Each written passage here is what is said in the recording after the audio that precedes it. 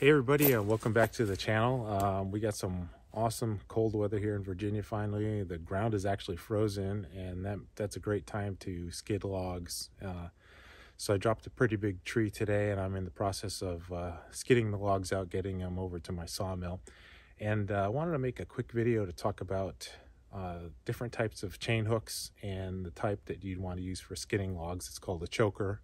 And this will be this will be a pretty short video, but I figured it's worth doing because I know a lot of people skid logs uh, with the wrong kind of chain hooks. It ends up being more work, kind of a pain sometimes. So uh, I think this will be a good topic. So stick around and we'll get started. Okay, so I have some uh, chain hooks here laid out on the log that I, I thought we'd, we'd talk through. Over on the left are kind of the typical chain hooks you're going to run into. This is known as a slip hook. Uh, this used to have a little uh, flap on it to hold the chain in, but that's that's long since gone. Over here we have a grab hook. That's meant to hook on to a chain link um, and, and stay put. And then over on the right here we have what's known as a choker hook. And this is uh, this has been around for probably over, well over 100 years. Uh, this is the type of chain hook that evolved to be uh, appropriate for logging use uh, for, for skidding logs, just any type of situation where you need to grab onto a log with a chain. Um, it's, it's got the ability to slip so that the chain can choke up on a log, but it's got a fairly narrow uh, opening here and uh, uh you kind of this C-hook shape to it.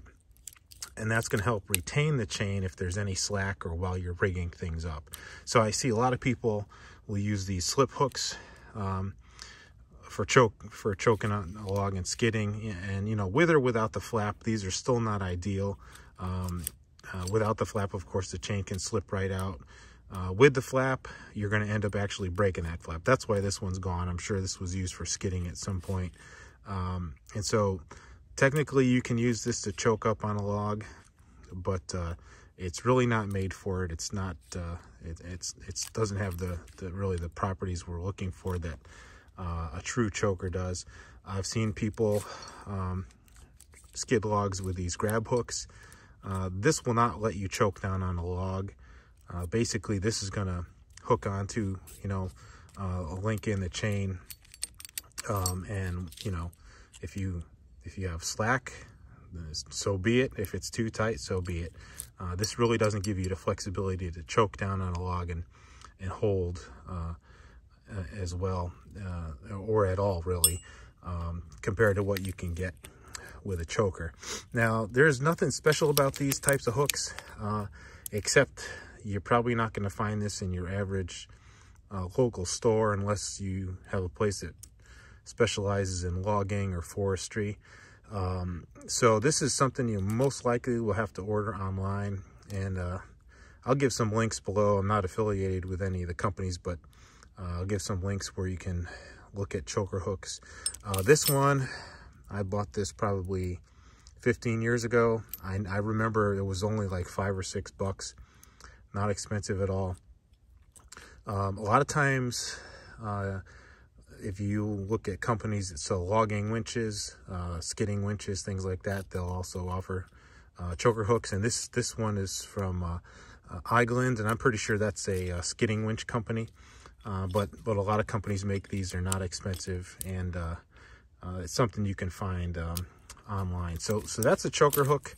Um, I highly recommend this if you're going to be skidding any logs at all.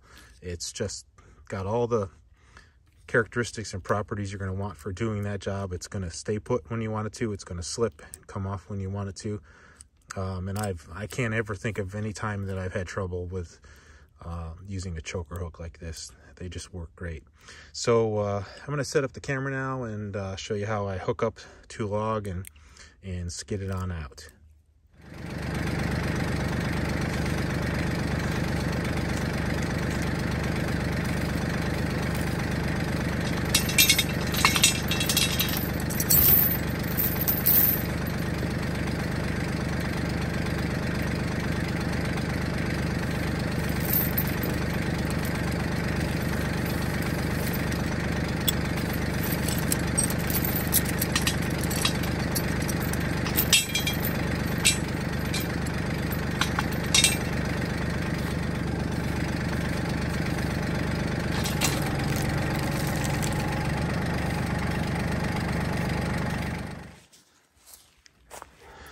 Okay, so if we get a close up, you can see how that hook's uh, doing its job. It's going to allow slip. And uh, this also shows really one of the great benefits if you can skid with a three-point hitch on your tractor. You're going to get that log way the heck off the ground.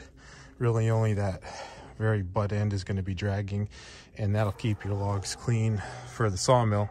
Uh, so that's a real good thing. So let me uh, set the camera back down here and we'll get this log out of the woods.